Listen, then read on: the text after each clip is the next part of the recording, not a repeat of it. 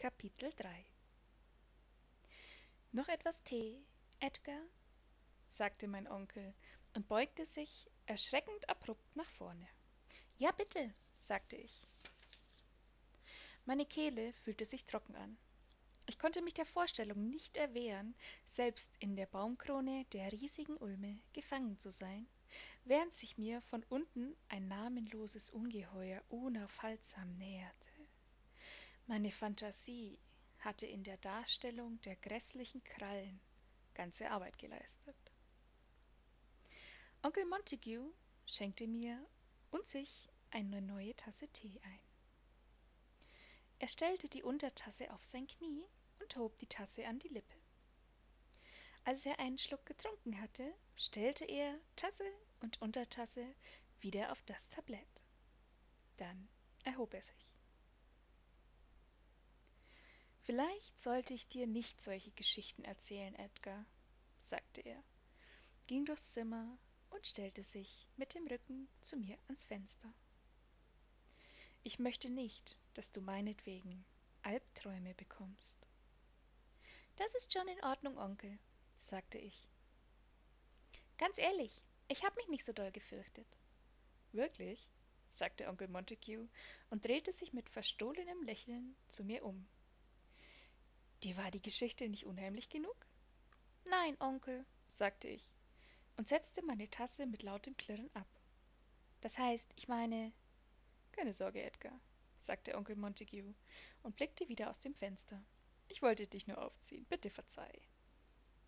Natürlich, sagte ich mit einem Lächeln. Das weiß ich doch.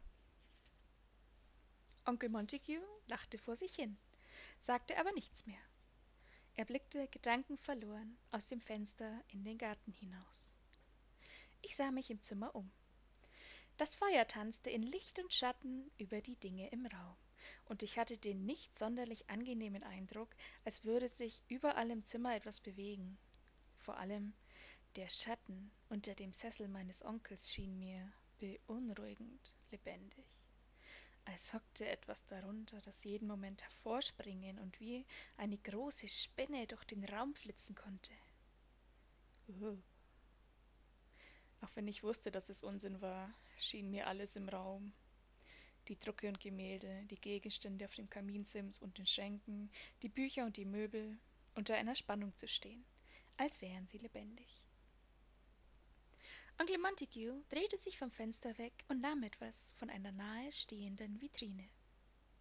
Das Beben und die schattenhaften Bewegungen im Zimmer schienen sich mit einem Mal zu legen.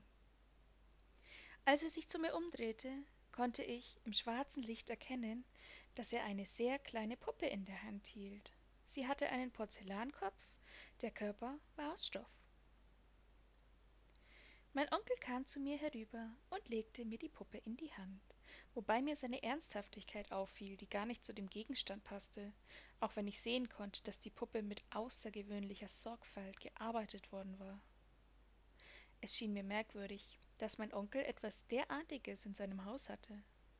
Ich fühlte mich etwas albern mit der Puppe in der Hand und dachte, was passieren würde, wenn mich jemand aus der Schule so sehen könnte. Warst du schon einmal bei einer Seance? Edgar? fragte mein Onkel, ohne weiter auf die Puppe einzugehen, die er mir so feierlich in die Hand gegeben hatte. Er ließ sich langsam in seinem Sessel nieder. Nein, Onkel, antwortete ich. Aber du weißt, dass es so etwas gibt. Ja, Onkel, sagte ich.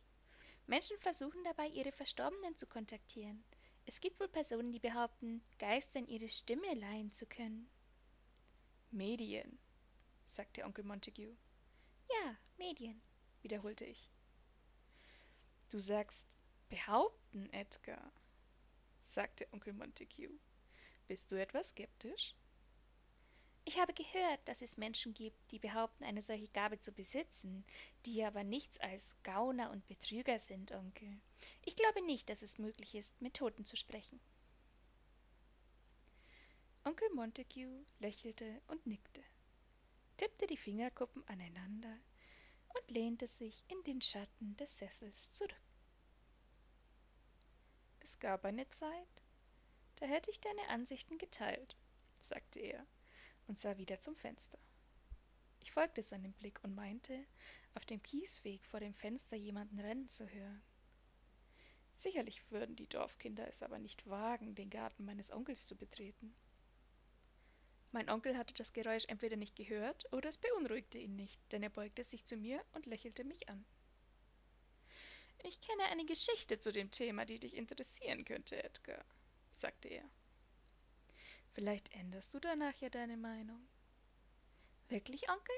sagte ich, auch wenn ich mich mit der kleinen Puppe in der Hand immer noch etwas unwohl fühlte. Erzähl sie mir doch bitte. Wie du willst, Edgar. Wie du willst.